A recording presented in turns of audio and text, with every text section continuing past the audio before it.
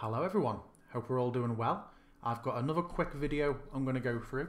This one is about dynamic effects, which is another module, but it's one that it's a bit more complicated this video, and I'm probably going to make a couple of errors in it. It's not as flashy or immediately impressive as some of the other videos, but I think it goes a long way towards taking homework out of your players' hands and reducing the amount of things that can lead to mistakes.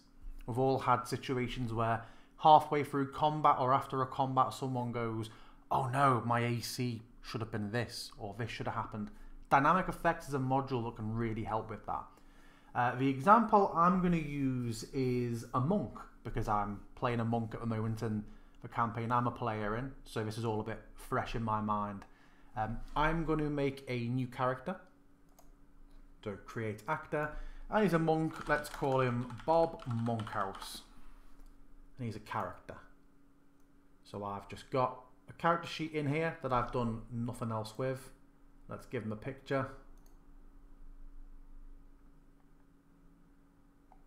Monkhouse. There we go. So we now have Bob Monkhouse, who's going to be a monk. I'm not going to go for the full character setup. I've got other videos that cover all of that. I'm just going to add in the things that we need for this. So he is a monk. I'm going to go in and add. We'll start off with three levels of monk. I'm only going to add in the other features I know I need for this video. You obviously, and this is just limited to monk, so the, the this goes as far as you can sort of think, really, your imagination. Once I've set this up, you're hopefully going to see. And dynamic effects can be applied to features, spells, items, anything. I've not played around really with using this for magic items yet, but there's a huge amount of, um, of flexibility with this. I need to add in the feature ki.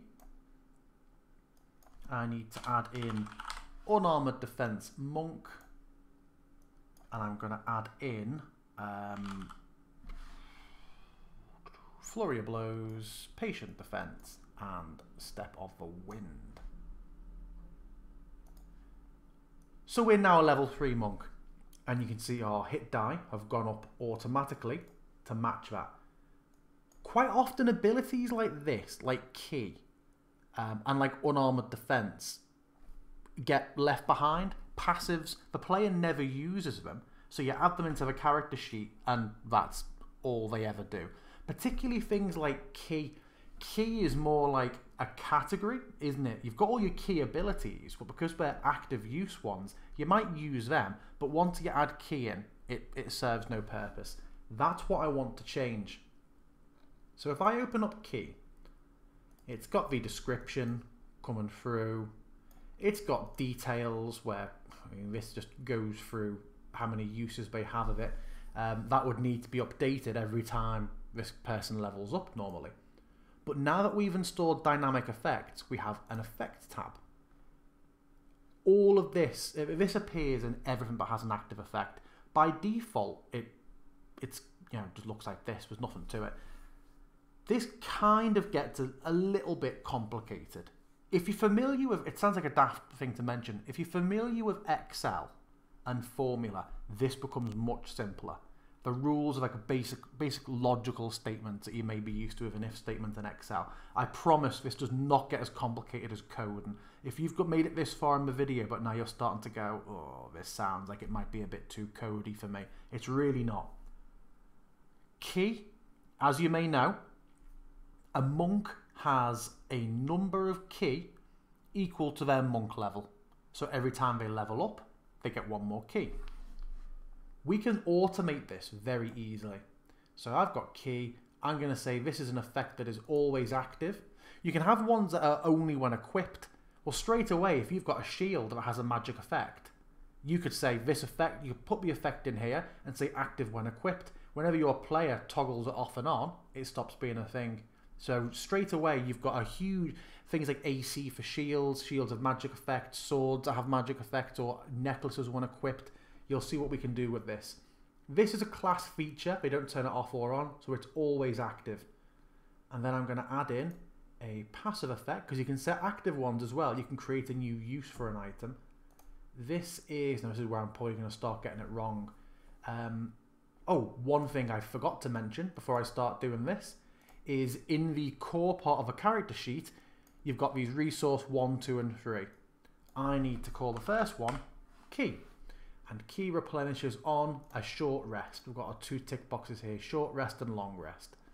Um, the system, it's important for you to know, the system refers to resource 1, 2 and 3 as primary, secondary and tertiary.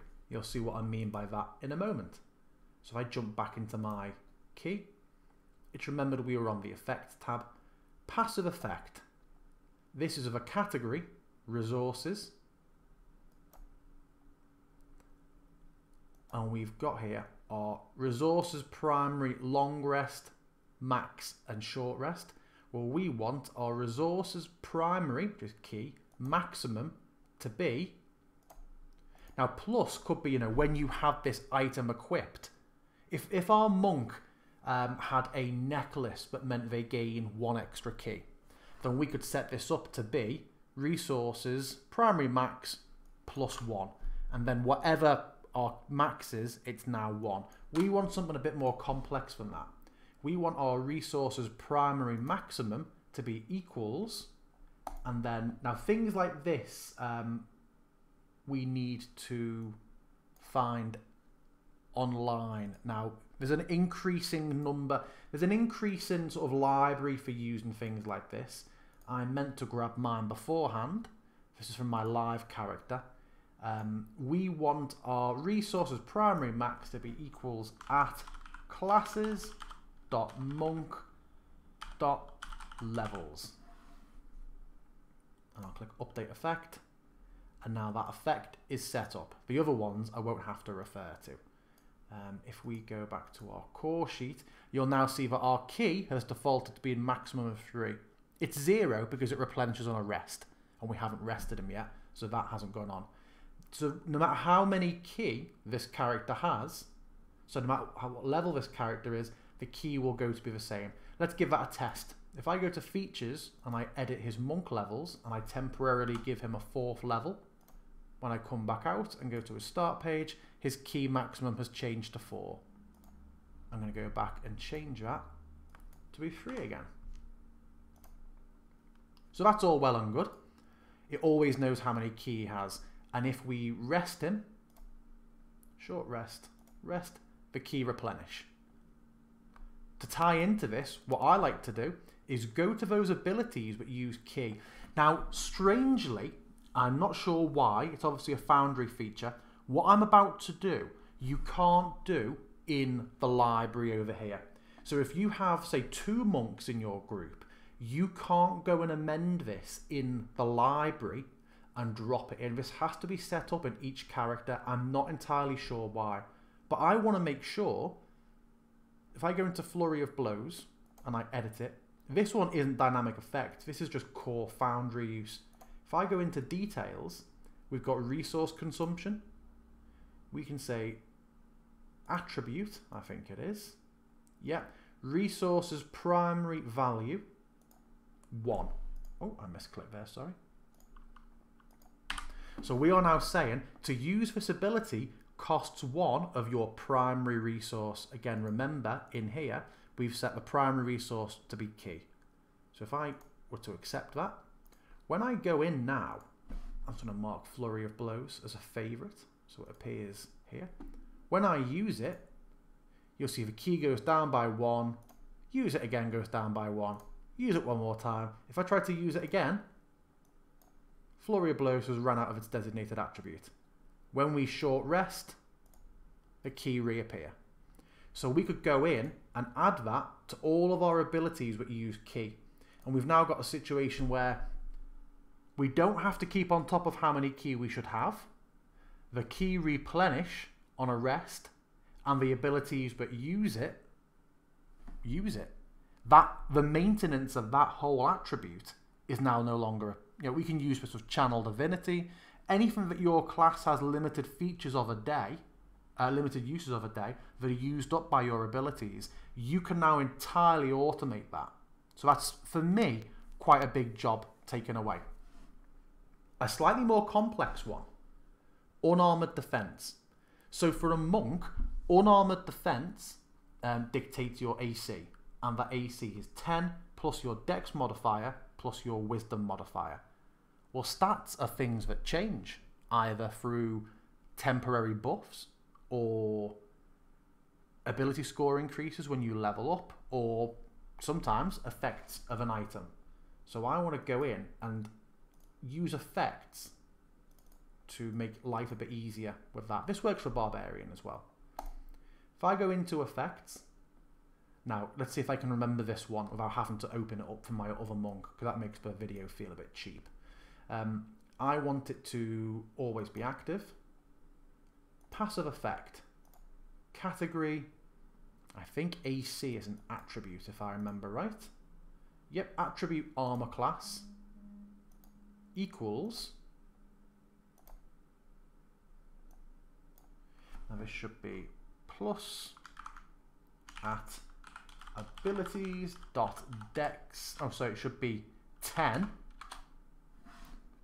And then I'm going to go in and add another one. Plus at abilities. No, do you know what? I've messed it up. Let me go back. This is how tricky I find this. It's a, once you use it more and more, you get very used to this. But I haven't touched this in about two months, and I've just come through to try and make this video. I probably should have revised it a bit more first. So there we go. You have to forgive me for that. We go in here. I want to edit that.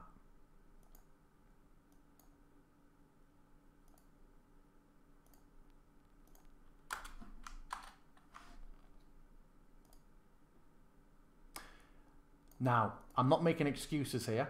They've changed in an update how this module worked since I last did it. You used to have to shift enter down to insert new lines, but as you can see here, it's now been put into a single string, which is better in a way. It's less work for you to have to do, um, less knowledge for you to have to have. So let's have a look. There is no delimiter. There's nothing that breaks that up. So we should just be able to come back in if I close that I'm going to delete that and we'll start it again. So we're creating our unarmored defense monk. I'm going to go passive effect on. It is an attribute. It is our armor class, not our armor class minimum, remember. And it's going to be equals 10 plus abilities dex.mod or modifier plus at abilities.wiz.mod. Update effect. Now that, that looks like it should be correct. I'm just open it on, me, on uh, my other character and make sure it looks the same. Equals 10 plus at abilities. I think I've put an extra space in there. Let me just fix that.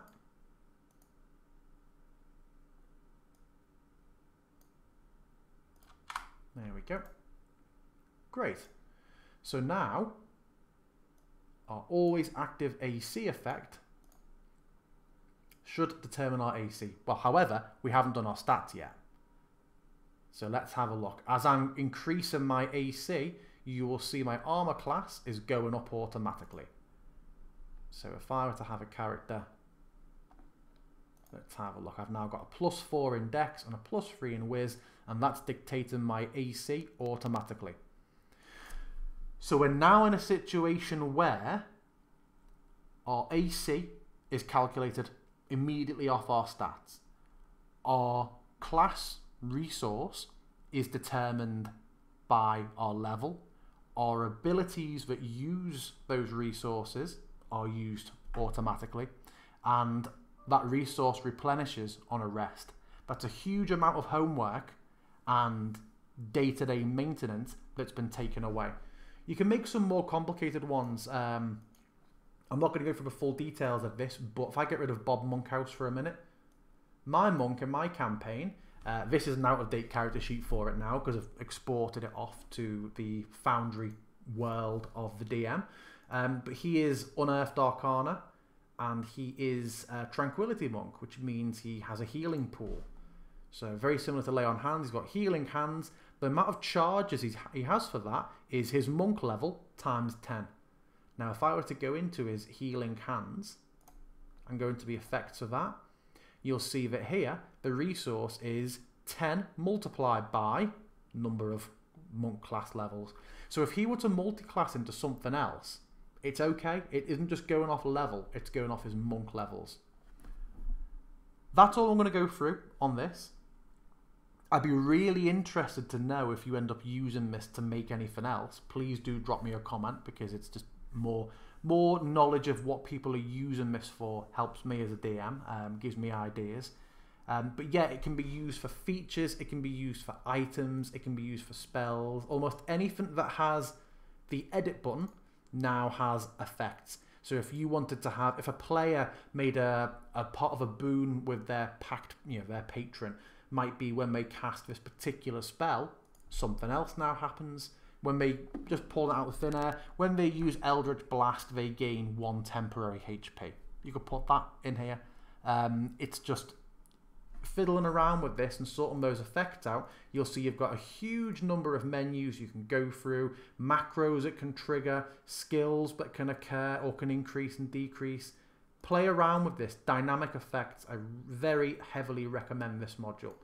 Um, as ever, thank you very much for watching. It was a bit bit heavy going today's. I appreciate it. I'll try and get the next one to be a bit more, uh, bit more flashy and fun Foundry instead of hard work but helpful Foundry.